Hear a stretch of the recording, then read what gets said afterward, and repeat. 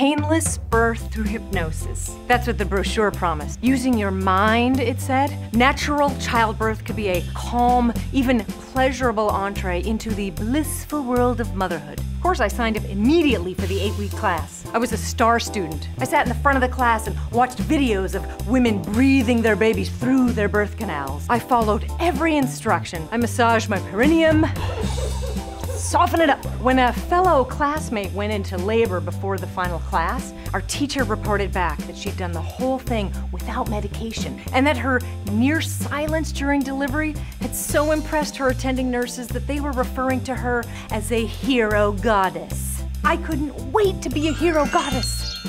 After my due date came and went without a contraction, and then two more non contraction filled weeks passed, my doctor recommended induction. We're going to induce. She warned that it could be a little intense, and that most induced women, 95%, end up having an epidural to control the pain. Of course, that's because 95% of women didn't spend eight weeks learning how to breathe through their pain because they didn't learn how to visualize their babies floating out of them like gentle waves of water. I patted my doctor's arm. I'm pretty sure I'll be fine.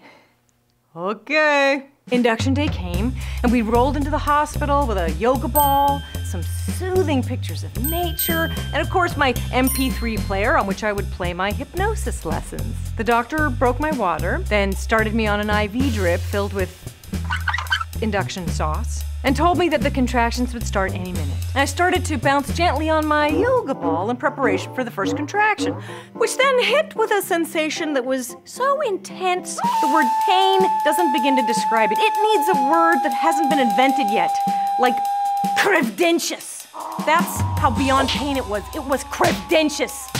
I hit the deck as spigots of sweat sprang from every pore. I guess I must have screamed out, epidural, epidural, epidural, epidural, epidural, epidural, because I have a vague recollection of my husband's face opening up to say, The epidural team is coming, darling. After I'd had a moment to recover, I changed my mind. I just hadn't been prepared for that first contraction. Now that I knew what it felt like, I was sure I could handle it. And so I braced for the next contraction that I was going to manage with my breathing exercises.